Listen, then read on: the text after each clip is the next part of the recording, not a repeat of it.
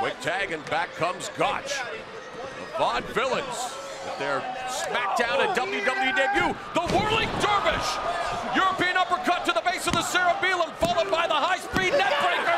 And that is it. Vaudevillains vanquish the Lucha Dragons. Your winners, the Vaudevillains. Vaudevillains, you're successful tonight on your debut against the Lucha Dragons on SmackDown. For the WWE Universe that's not familiar with you, what's your message, uh, Simon Gotch? Our message, Rich Brennan, is debonair devastation dealt decisively. Aiden English? Simply, we're here to show that we are the last two real men left on Earth. And to remind the WWE Universe that what's old is new again.